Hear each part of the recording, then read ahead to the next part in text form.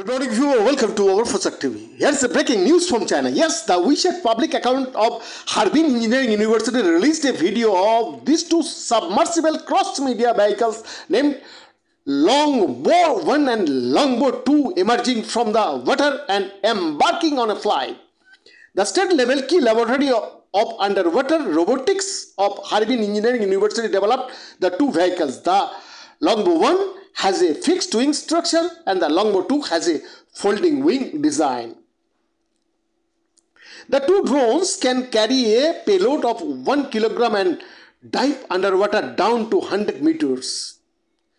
The tests were conducted in October at the Longfengshan Reservoir in Wengchang city after navigating underwater for more than 40 seconds. The longboat drones dived into the water, emerged about it, adjusted their flight attitude and took off. The entire process was completely autonomous. Air and water are two completely different media. The density of water is nearly 8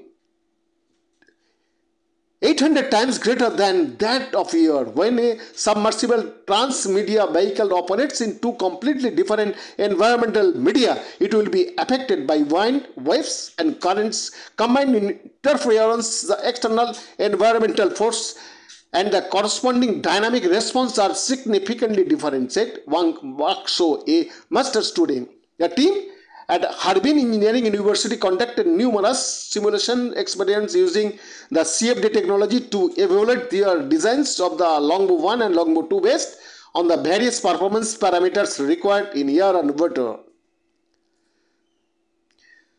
Sun Green, the technical director of the project and the doctoral student said that to withstand pressure underwater, the deeper the aircraft dives, the heavier the material used to build the aircraft will be. If the fuselage is too heavy, it will not be able to take off quickly.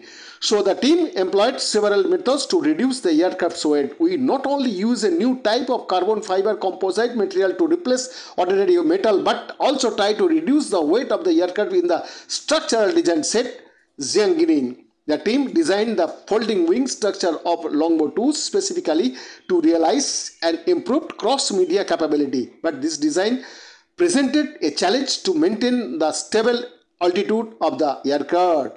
The Longbow 2's foldable wing structure has undergone as many as 9 modifications to address the issue of stable flight. During the test, the Longbow 2 could come out of the water, unfold its wings and take off successfully in less than 6 seconds. Bien Naziford, Perspective.